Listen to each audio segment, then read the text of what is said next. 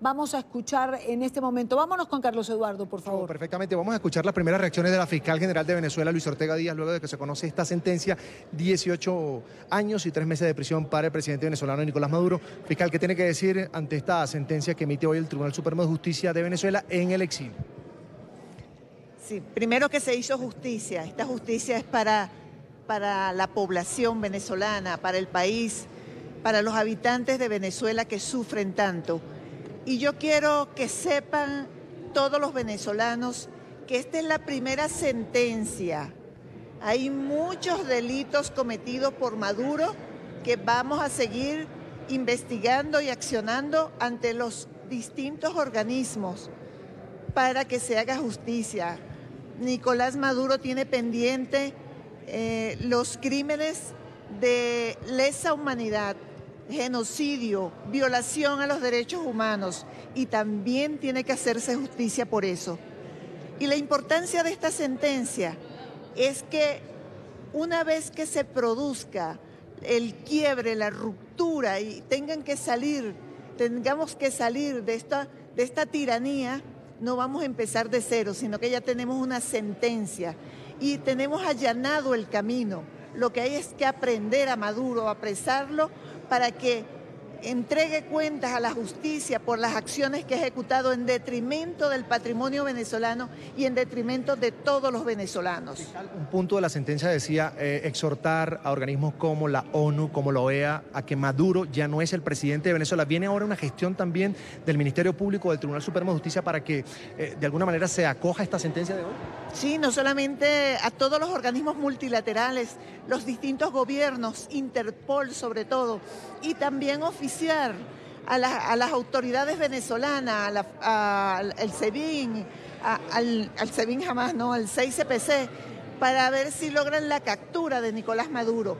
Y el, funcionario policial o militar que ejecute la, detención de Maduro estará haciendo historia, estará cumpliendo la constitución, estará cumpliendo con una imposición del Tribunal Supremo de Justicia, una decisión del Tribunal Supremo de Justicia.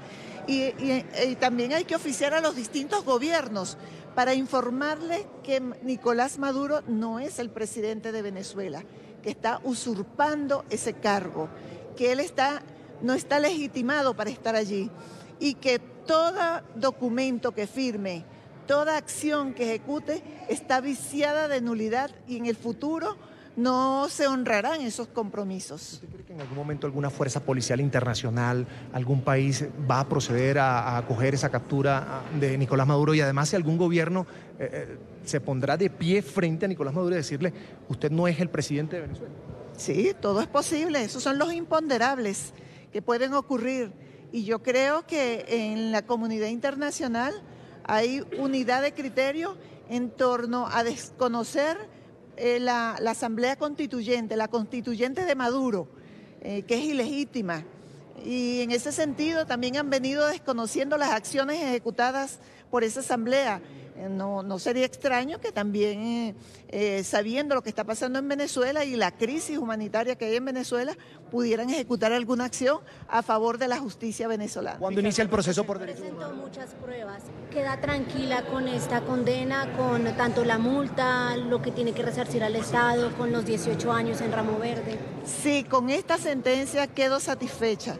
Lo que no estoy satisfecha es con los otros delitos que todavía hay impunidad, que todavía no se ha hecho justicia, pero que pronto va a venir la justicia y vamos a lograr no solamente justicia, sino que estos, esta tiranía, esos delincuentes que están en Venezuela salgan del poder. ¿Qué tiene Luis Ortega Díaz para acusar a Nicolás Maduro de violador de derechos humanos? ¿Qué pruebas a presentar y para cuánto el proceso?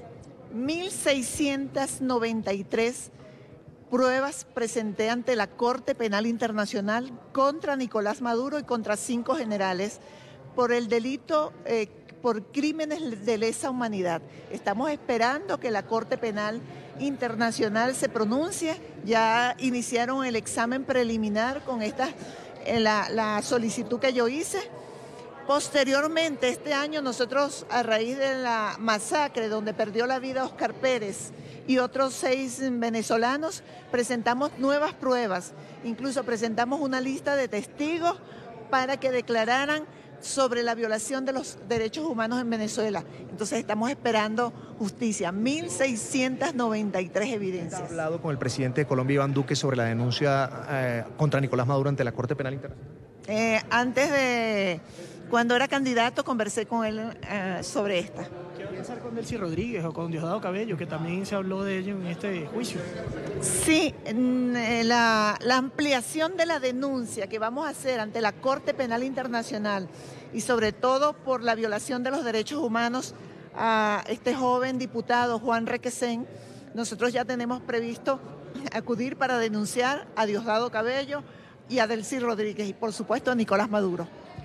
Las palabras, las palabras de la fiscal general de Venezuela, Luisa Ortega Díaz, luego de conocerse esta sentencia condenatoria hacia Nicolás Maduro, 18 años, 3 meses de prisión, sitio de reclusión, el Centro de Procesados Militares de Ramo Verde en el estado de Miranda y también la petición que hace el Tribunal Supremo de Justicia de Venezuela en el exilio a organismos como la Organización de Estados Americanos, la Organización de Naciones Unidas, para que se desconozca la presidencia y la autoridad de Nicolás Maduro al frente de Venezuela. Y Dani, es lo que tengo para ti a esta hora desde el Congreso de Colombia en Bogotá.